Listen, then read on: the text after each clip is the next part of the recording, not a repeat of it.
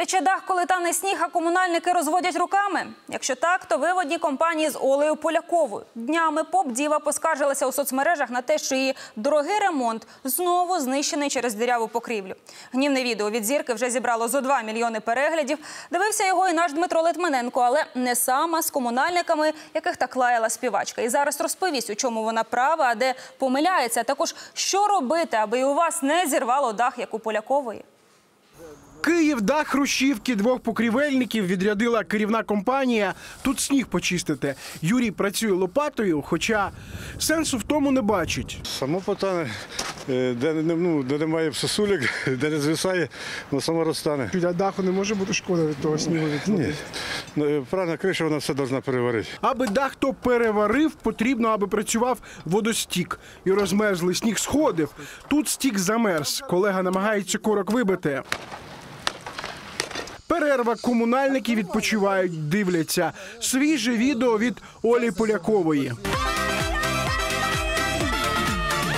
Цей твір хлопців не зацікавив. А от свіжий хіт в жанрі жорсткий реалізм, так, з надривом, на межі істерики. За два дні в соцмережах відео зібрало півтора мільйона переглядів. Все упало, все отвалилось, и теперь валяется вот так вот просто.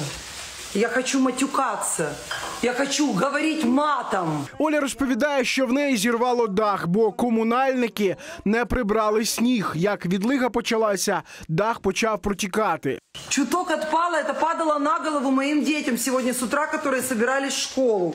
Вот такой у меня потолок, вот так я теперь живу.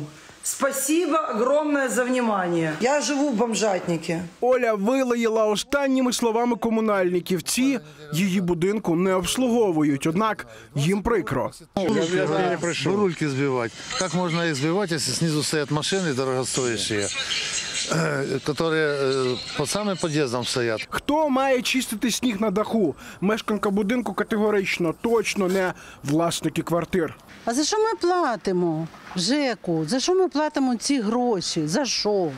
Тої думки і Полякова. Спрашивает моя Таня, за что они берут деньги? За что я плачу в каждой платежке? Они должны обслуживать, они должны нам помогать. Мы им платим за это деньги. Перевіряємо. ЖЕК не зобов'язаний робити все. Тут не all inclusive.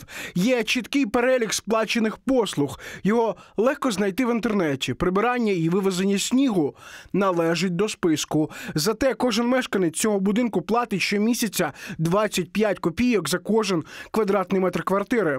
Очільник керівної компанії визнає, то їхня відповідальність виходить полякова права. Прибирання снігу це, це важлива е, частина утримання будинку та прибанкової території. Ми робили цю роботу, то будемо робити і далі.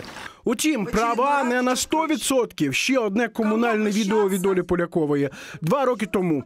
Тоді в неї теж потік дах, а за вікном висіли брульки. Посмотрите, які сосулі.